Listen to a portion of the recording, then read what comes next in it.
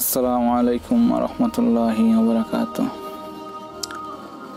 ইয়াহিয়া ইবনে বুকায়ের রহমতুল্লাহ আলাই আয়েশার আদাল্লাহ তালানু থেকে বর্ণিত, তিনি বলেন রাসুল্লাহ সাল্লাহ সাল্লামের প্রতি সর্বপ্রথম যে উহে আসে, তা ছিল ঘুমের মধ্যে সত্য স্বপ্নরূপে।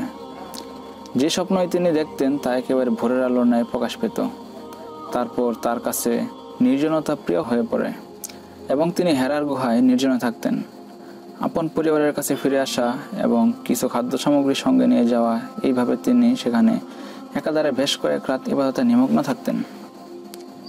তারপর খাদিজা রাদিয়াল্লাহু তাআলা কাছে ফিরে এসে আবার অনুরূপ সময়ের জন্য কিছু খাদ্য সামগ্রী নিয়ে যেতেন। এমনিভাবে হেরা গুহায় অবস্থানকালে একদিন তার কাছে ওহি এলো। তার কাছে ফেরিস্তা এসে বললেন, পড়ুন। রাসুল্লাহ সাল্লাহ সাল্লাম বললেন, আমি বললাম, আমি পড়ি না। তিনি বললেন, তারপর তিনি আমাকে জড়িয়ে ধরে এমনভাবে চাপ দিলেন যে আমার অত্যন্ত কষ্ট হলো। তারপর তিনি আমাকে ছেড়ে দিয়ে বললেন, পড়ুন। আমি বললাম, আমি তো পড়ি না।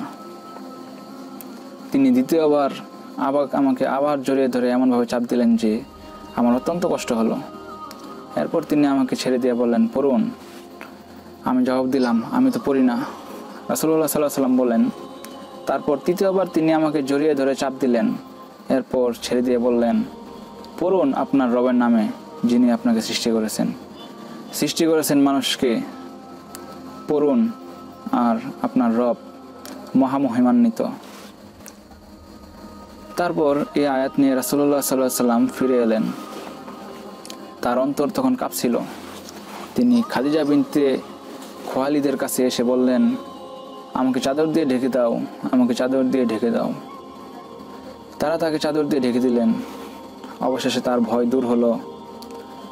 তখন তিনি খাদিজা রাজিউল্লাহ তালহমের কাছে সকল ঘটনা জানিয়ে তাকে বললেন, আমি নিজের উপর আশঙ্কা বোধ করছি। খাদিজা রাজাল্লাহ তালানহা বললেন, আল্লাহর কসম, কখনো না। আল্লাহ আপনাকে কখনো অপমানিত করবেন না। আপনি তো আত্মীয় স্বজনের সাথে সদ্ব্যবহার করেন। অসহায় দুর্বলের দায়িত্ব বহন করেন। নিঃস্বকে সাহায্য করেন। মেহমানের মেহমানদারি করেন এবং দুর্দশাগ্রস্তকে সাহায্য করেন। এরপর তাকে নিয়ে খাদিজা তালাহ তার চাচাতো ভাই Waraqa ibn Naufal ibn Abdul Asad ibn Abdul উজ্জার কাছে গেলেন। যিনি জাহিলি যুগে ইসাই ধর্ম গ্রহণ করেছিলেন। তিনি ইব্রানি ভাষা লিখতে জানতেন এবং আল্লাহর তৌফিক অনুযায়ী ইব্রানি ভাষায় ইঞ্জিল থেকে অনুবাদ করতেন। তিনি ছিলেন অত্যন্ত বয়োবৃদ্ধ এবং অন্ধ হয়ে গিয়েছিলেন। খাদিজা রাদাল্লাহ তালানহা তাকে বললেন, হে চাচাতো ভাই, আপনার ভাতিজার কথা শুনুন। ওয়ারাকা তাকে জিজ্ঞাসা করলেন, ভাতিজা, তুমি কি দেখো? রাসুল্লাহ সাল্লাহ সাল্লাম বল, যা দেখেছিলেন, সবই খুলে বললেন। তখন ওয়ারাকা তাকে বললেন, ইনি সে দূত যাকে আল্লাহ মুসা আল্লাহ সাল্লামের কাছে পাঠিয়েছিলেন। আফসোস আমি যদি সেদিন যুবক থাকতাম, আফসোস, আমি যদি সেদিন জীবিত থাকতাম, সেদিন তোমার কাউম তোমাকে বের করে দিবে। রাসুল্লাহ সাল্লাহ সাল্লাম বললেন, তারা কি আমাকে বের করে দিবে?